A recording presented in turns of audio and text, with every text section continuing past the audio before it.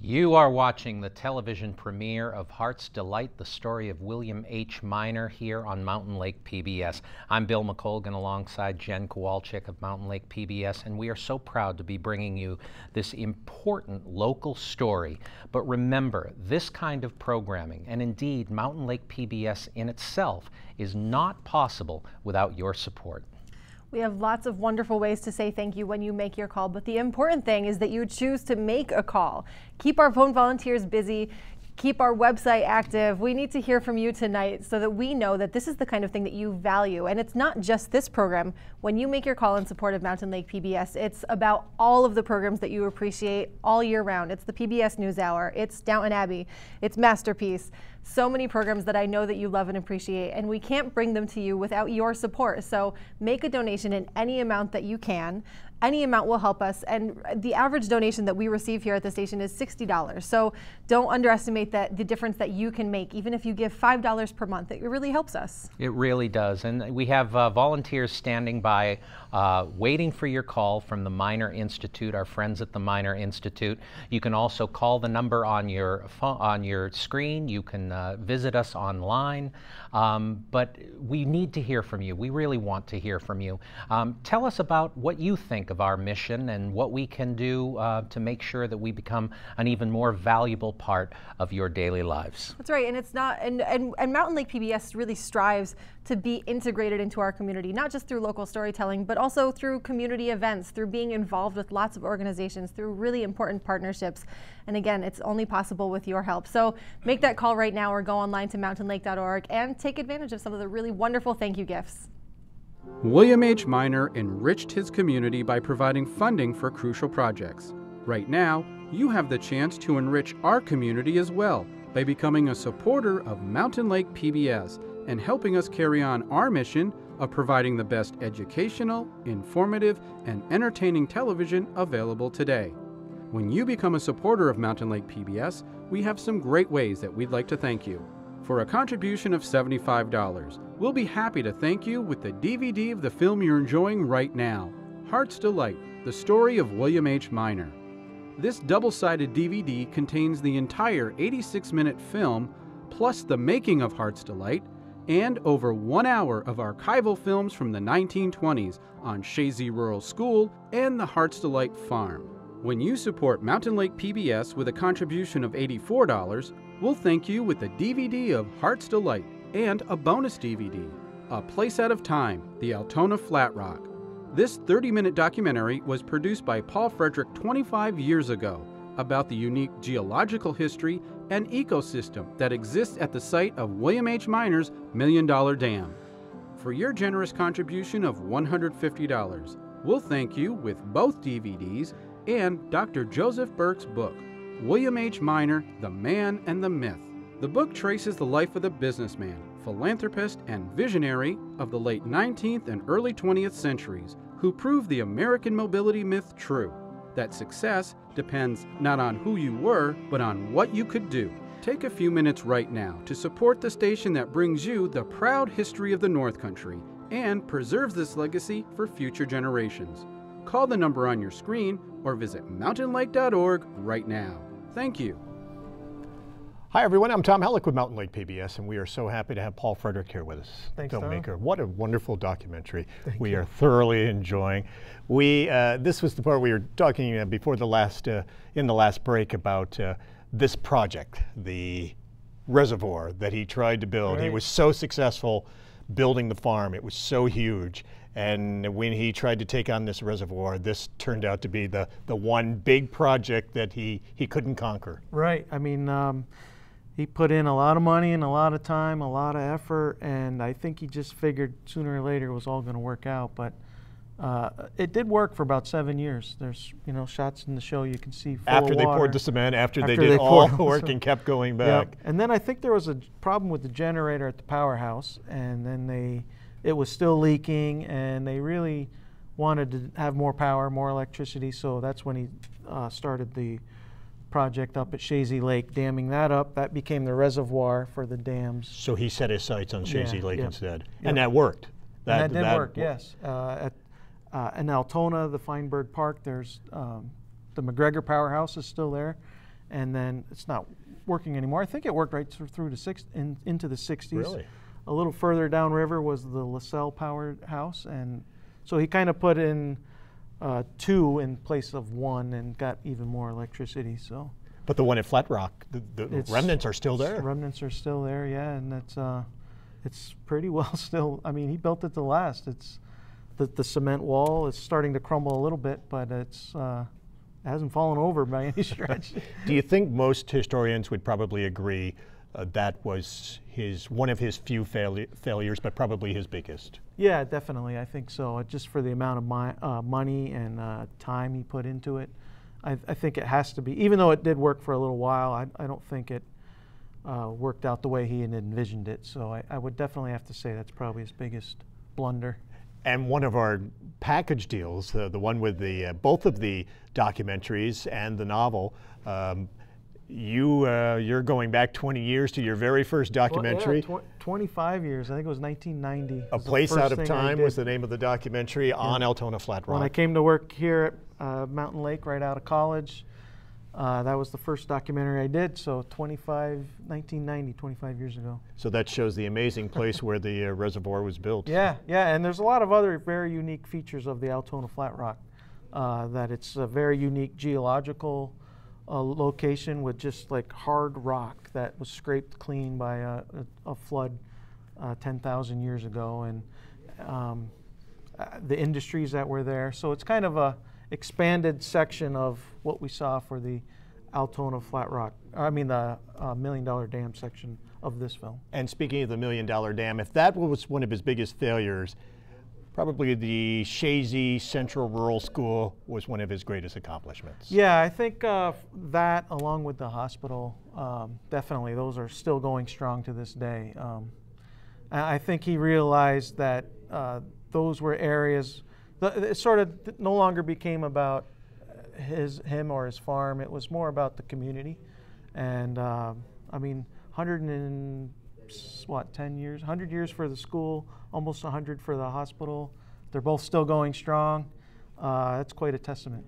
You had mentioned a few moments ago that you, you thought that when Miner created Hearts Delight Farm and he had all the farmers from the area come in and he was hopeful that he could maybe teach them uh, farming techniques that would help the Right, community. right, yep. He, in later years, then perhaps set his sights on the school as maybe that's where Yeah. I can teach a future generation of farmers. Yeah, and and also, um, wealthy individuals of that era were funding colleges, and he was the first to really fund an elementary school and uh, uh, primary, you know, high school. So he really wanted to get to youth when they were young and teach them about agricultural practices. Now he was a, was a little bit of a some arguments there with Mott about um, the curriculum because there was no curriculum for this kind of a school. They had to basically come up with it. So George Mott was who he brought in to run the school, and, and, and he uh, was almost like a son to Miner.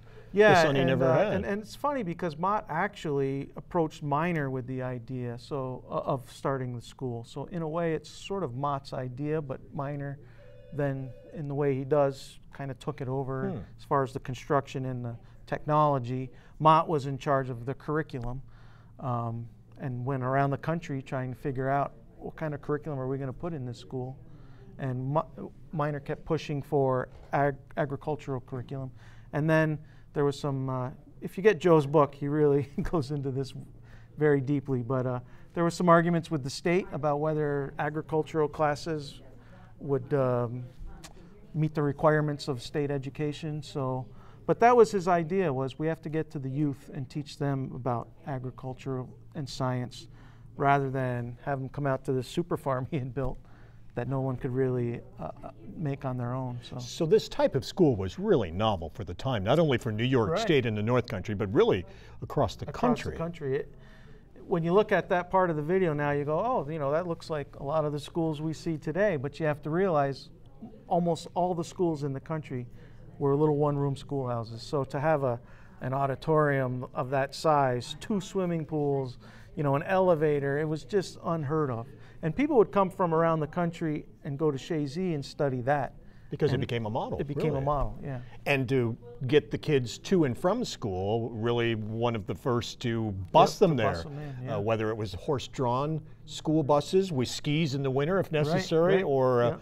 Or uh, the the uh, some of the earliest school buses, uh, the, the kids would be picked up and dropped off at home after. Yeah, after real, school. real innovation. I mean, it's uh, like I said, you kind of take it for granted when you watch it now. But you know, on the DVD, Tom, on the second side, you see little film clips of the school in this documentary, but the full 45-minute film that, that those clips are from is on this DVD as a bonus. That's one of the extras. And, Yeah, and yeah, and There's it's almost really great to watch. 45 minutes of footage. Now, that's from the late 20s. Where where Yeah. would that footage have come from?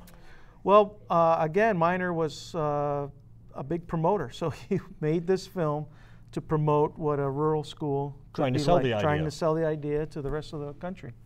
and just a wealth of, of video of Yeah, every aspect of stuff. it the, the swimming pools the Yep. the giant uh, theater And it was a silent film, so there's those little, uh, you know, um, what do they Subtitles call them? underneath. Subtitles before each section, and it's fun to read it and see the way they worded things and the way they were trying to promote aspects of the school. So I, I tell you, it, it's fantastic to watch all the way. Through. and that's one of one of the extras you also have footage from some of the CVPH farms, and uh, some of the yeah, and farms some uh, of the farm uh, films are on there too. So which for for that era to have that much Yeah. film as a documentary maker you must have been in heaven to Yeah, have that much film that you discovered And it's it's interesting because all the old photos we used, uh, those were all taken because Miner would make these really elaborate um, guest books.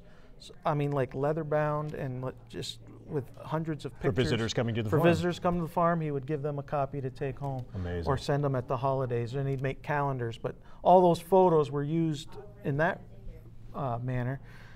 But you know, now it's a great historical document that I can use to, to do a documentary. and tell a story Yeah, yeah. great thanks paul let's go over to uh, bill and jen Thanks, Tom, and thank you again to Paul Frederick, the very talented filmmaker who is making this uh, uh, outstanding documentary available to all of us uh, watching here on Mountain Lake PBS. We are so thrilled to have been hearing the phones ringing. Uh, we do appreciate your support, and we need your support in order to make sure that Mountain Lake PBS continues its mission here in the North Country. It's, and it's, it's volunteers from the William H. Miner Institute, so it couldn't be more appropriate. Give them a call. They're wonderful to talk to, and they're waiting to hear from you.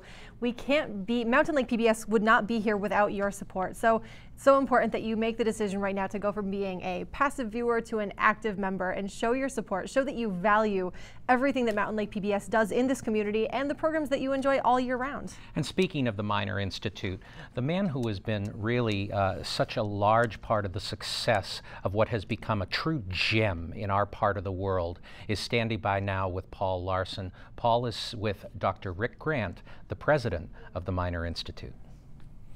Thank you, Bill. As the president of the Miner Institute, what's enjoyable for you when you watch this documentary? Well, uh, I'm struck. I've seen this three or four times now, and each time I've seen it, I'm struck with the drive that he had as a young man, but also now as, as president of Miner Institute.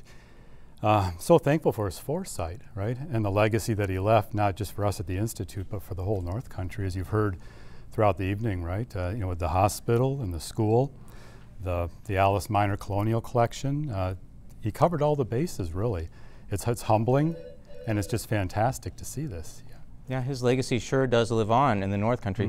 What I'm wondering as a viewer is I see this exciting film footage Right. of that magnificent farm.